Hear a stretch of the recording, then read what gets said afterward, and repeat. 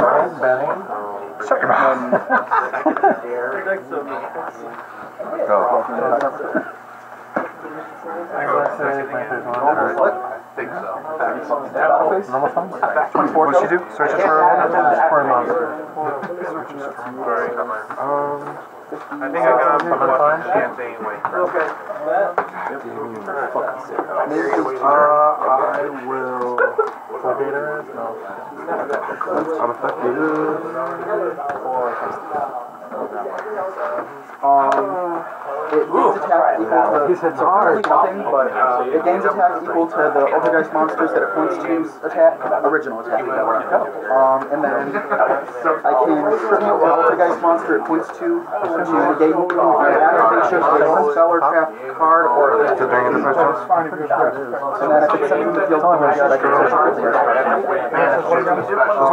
Seven of the cards. I got If I send it from the to graveyard, I can search any Altergeist card from my deck to my hand.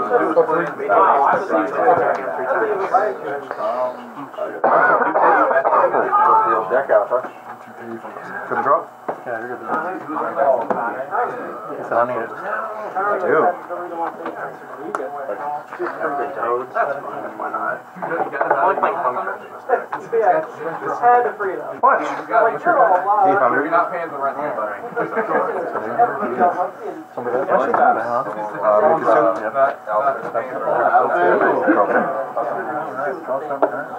two. On active effect. To target special.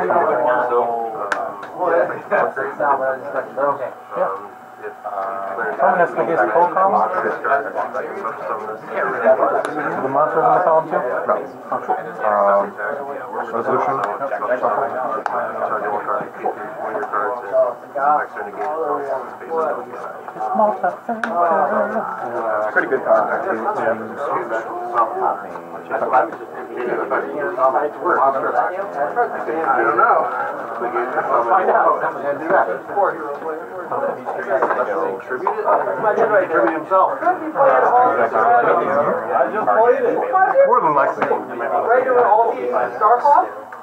Stand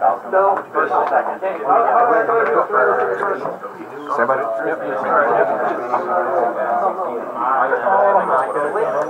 Oh, no, it's, if you get rid of all. Shuffle back your spots? He's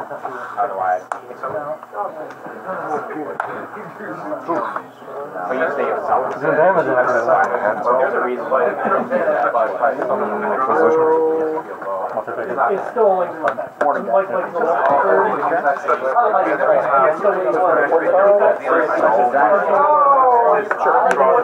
discards. So good, so good. No, no, no. Battle. Battle stick attack. Danger check. And then I can bring out monster. Seven two to two thousand. I can bring out monster.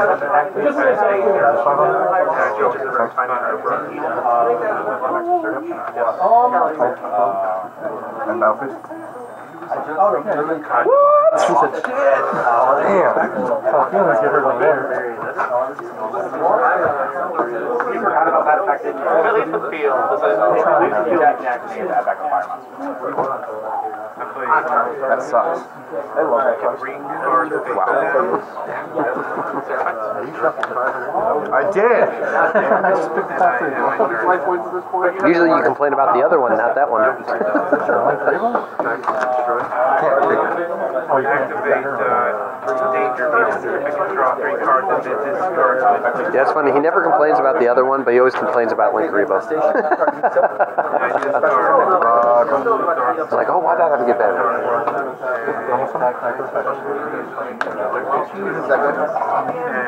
Struggling. I'm struggling. Um,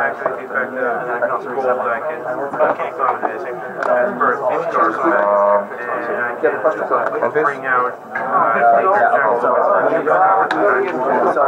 On attack declaration, I'm activating manifestation to target silver in the graveyard. To summon it back into attack. Do Fucking you have no response?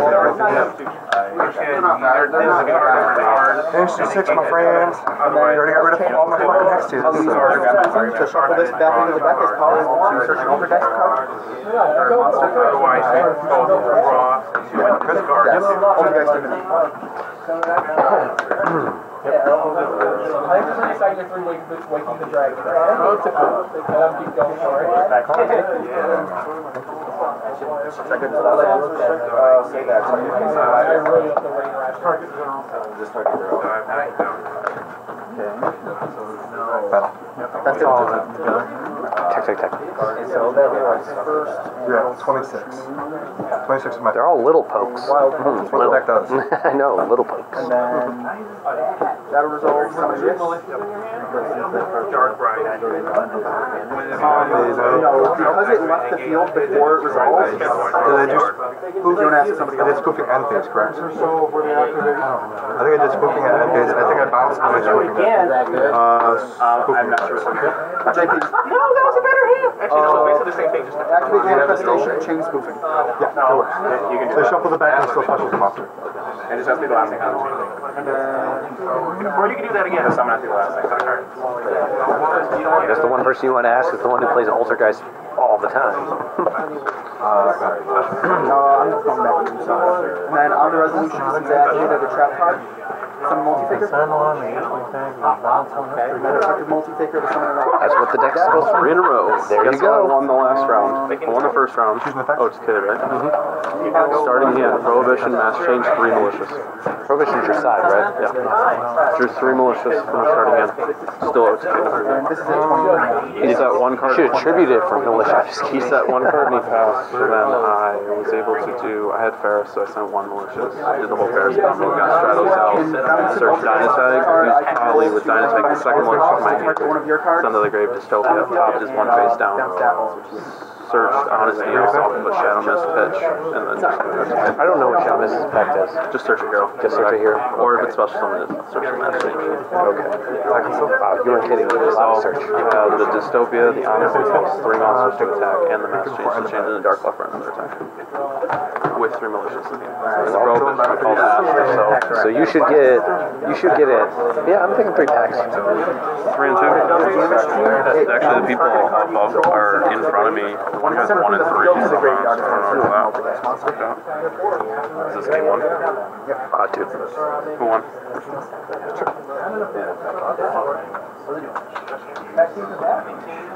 And that is a board. That's an Altergeist board. And he had the horsey that stops battle phase. I hate that horse. Yeah. I really do hate that horse. It's like you could develop a whole board, then they summon the horse. Done. Yeah. that's, an, that's, that's annoying, for sure. Yeah, it's because once you have uh, Altergeist protocol out, their effect can't be stopped. So it's just like, eh. If I activate a trap card while it's in my hand, uh, I can special summon it from my hand, and then if it's special summoned, it doesn't have to be by that effect. It can be by other effects like monster. Uh, I can special summon an Altergeist monster from my deck in defense, but for that whole turn, I cannot summon special summon monsters other than Altergeist. It should be four and one. The second game, dude. no. Oh, I'm sorry. I get to negate a spell or trap at card or effect activation by You order them from the store. You get the, you bought it from. You, no, no, no. You can buy the whole thing from the uh, store. They'll pre-order for you and get you the whole thing as long as you prepay. And you would do that with OTS packs? No, no, not OTS. That's what I mean. I, I've seen people open up hardware boxes and they have like 50 to like 75 OTS packs and they open all 75 of them. I don't Then understand those how people stores get are going to lose their license. if they figure out what store. Yeah. Or some people buy them on eBay and stuff. I don't. Yeah, but I like don't I said, they can they can lose their license. It'd be nice if I could respond to that. No, these are sealed boxes. I've seen people open, so I don't know. Yeah, they if they They're like, find out what there's store coming on from, they'll eBay. be. They're like seven hundred fifty dollars. Yeah, if they find out what stores they're doing it, those stores will lose their ability to host their Yeah. licensed tournaments. That's what I figured it was. 'cause I know You're not allowed to sell it. There's one guy that I watched though. He's got a stack that he's been saving up for the past year. Oh yeah, I, I actually used to do that. Like uh, when I'd get packs and I kept buying them. I let them stack up for a while, and I would wait forever to open don't, I them. don't have the patience for that. That's how I pulled this, my Cyber Dragons. Um, the Walmart where I live back at home, not out here, but back at home. That Airport? No, uh, way out in Oregon, Ohio. Oh, So like an hour away from here. Um, was selling the 5Ds collect the premium collection. You know those small tins that came on all the bills pack. They were selling those. They had five of them, so I like bought two, and they're just sitting. I'm like they're 5Ds. They're they're older, I'm gonna use. and they're sealed too. So don't open them yet. Maybe something will happen that'll make it. yeah, I looked at all the cards in there, and there's some valuable, but it's not worth I think some of the biggest, uh, the biggest uh, card values you could probably get would be out of Chaos Impact. Chaos Impact has some really good stuff. What I really want to find is if Walmart had these out, that's what acid comes in. Master Acid comes in that, and that's super old. If I found those in Walmart or somewhere, Go to uh, go to Meijer. yeah, Meijer has a really nice habit down their toy area in the back wall where they carry just Duel Power and random soccer tips. They'll just still have all that stuff because a lot of people just don't My shop friend there. Works at Walmart, and he's sent me pictures before he's went back into the stock and like sent me all the Yu-Gi-Oh stuff. And there's so much old stuff because they buy it and they just don't put it out, so they randomly put out old stuff every once in a while. Like there was a Noble Knights uh, premium collection, big forty dollar box. I think it was older. Cyber Dragon, Structured X randomly appear. Um, Everybody want that wants that mechanical deck. Mm-hmm. That structure was good. Had Super Poly in it. Mm-hmm. Common poly.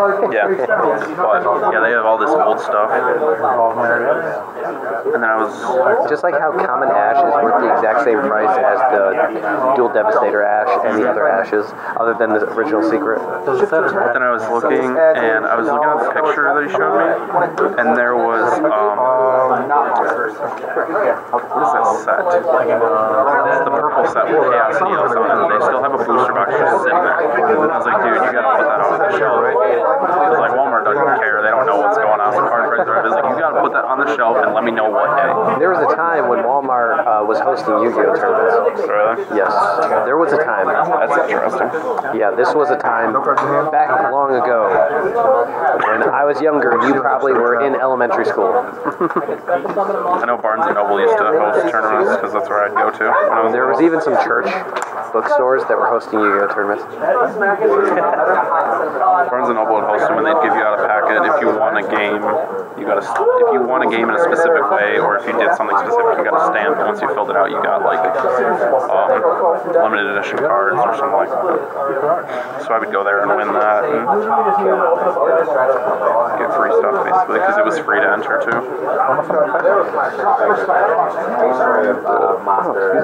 I got like a wing dragon of Ra one time from it. It was pretty cool. Man,